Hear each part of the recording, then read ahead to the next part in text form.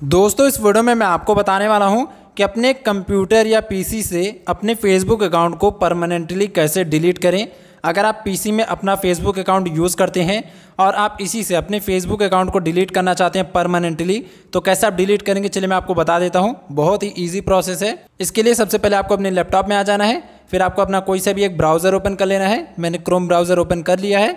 अब यहाँ पर आपको सर्च करना है फेसबुक लॉगिन आप फेसबुक सर्च कर लीजिए या फिर फेसबुक लॉगिन सर्च कर लीजिए। अब यहाँ पर आपको पहले नंबर पर फेसबुक की वेबसाइट दिखेगी। आपको इस पर क्लिक कर देना है। इस पर क्लिक करने के बाद इस प्रकार का पेज आपके सामने आ जाएगा। अब यहाँ पर आपको अपने फेसबुक अकाउंट को पहले लॉगिन करना है। तो यहाँ पर ईमेल आईडी और फिर पासवर्ड डाल दीजिए। तो चलिए मैं डाल देता हूँ। अब यहाँ लॉगिन पर क्लिक कर दीजिए। तो देखिए मेरा फेसबुक अकाउंट यहाँ पर लॉगिन हो चुका है। तो अब यहीं से मैं इस अकाउंट को डिलीट करना चाहता हूँ। तो इसके लिए क्या करना है? यहाँ देखिए किनारे में आपको प्रोफ़ाइल आइकन दिख रहा होगा आपके अकाउंट का। इस पर क्लिक कीजिए। इस पर क्लिक करने के बाद यहाँ पर आपको ऑप्शन मिलेगा सेटिंग्स एंड प्राइवेसी आपको यहाँ ऊपर नीचे ये ऑप्शन मिल जाएगा। इस पर क्लिक कीजिए। फिर आपको यहाँ पर ऑप्शन मिलेगा सेटिंग्स का। अब आपको इस पर क्लिक कर देना है। जैसे आप सेटिंग्स पर क्लिक करेंगे तो अब आप आ जाएँगे सेटिंग एंड प्राइवेसी के अंदर।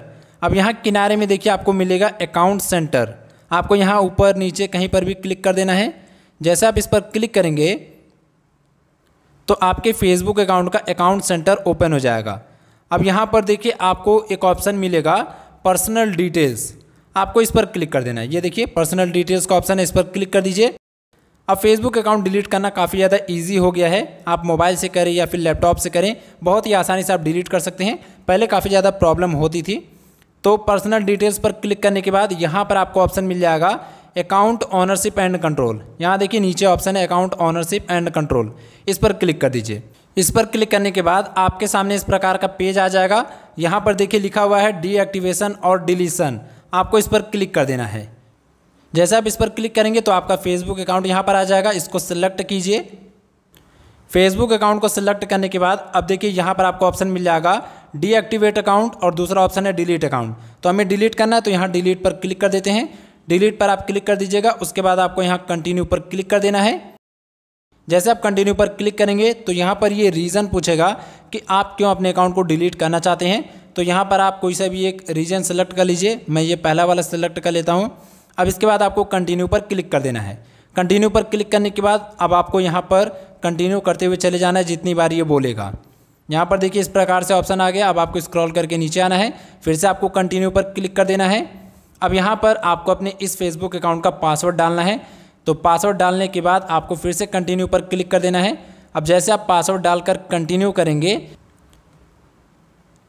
तो अब आपके सामने इस प्रकार से पेज आ जाएगा। अब यहाँ पर ये लास्ट बार पूछ रहा है कन्फर्म परमानेंट अकाउंट डिलीशन अगर आप यहाँ पर डिलीट पर क्लिक कर देंगे तो आपका अकाउंट डिलीट में चला जाएगा और वो 30 दिनों तक डिलीट में पड़ा रहेगा। ये देखिए लिखा हुआ है आफ्टर 30 डेज़ यानी कि तीस दिनों के बाद ये परमानेंटली डिलीट होगा। तीस दिन के अंदर अगर आपको मन करे तो आप अपने अकाउंट को दोबारा से रिकवर कर सकते हैं आईडी पासवर्ड डालकर। तो हमें डिलीट करना है तो चलिए यहाँ पर मैं डिलीट अकाउंट पर क्लिक कर देता हूँ। अब जैसे आप डिलीट अकाउंट पर क्लिक कर देंगे तो आपका फेसबुक अकाउंट पूरी तरीके से लॉग आउट हो जाएगा। यहाँ पर देखिए, हम अकाउंट से बाहर आ गए हैं और हमारा अकाउंट डिलीट में चला जाएगा। अब वो डिलीट में चला गया है। अगर आपको उसको रिकवर नहीं करना है तो 30 दिनों तक आप उसको बिल्कुल भी कहीं पर लॉगिन मत कीजिएगा, वरना वो डिलीट नहीं होगा, वो दोबारा से एक्टिवेट हो जाएगा। तो 30 दिनों के लिए अब आप उस अकाउंट को एकदम से छोड़ दीजिए, वो अपने आप 30 दिनों के बाद परमानेंटली डिलीट हो जाएगा। फिर उसके बाद उसका जो आईडी और पासवर्ड है, वो किसी काम का नहीं रह जाएगा। आप उसको चाहे रखें या फिर उसको हटा दीजिए। तो इस प्रकार से आप अपने पीसी या लैपटॉप से अपनी फेसबुक अकाउंट को परमानेंटली डिलीट कर सकते हैं। अगर आपको वीडियो पसंद आई हो, वीडियो हेल्पफुल लगा तो वीडियो को लाइक कीजिएगा। और अगर आपका कोई भी क्वेश्चन है तो कमेंट बॉक्स में ज़रूर से पूछ लीजिएगा।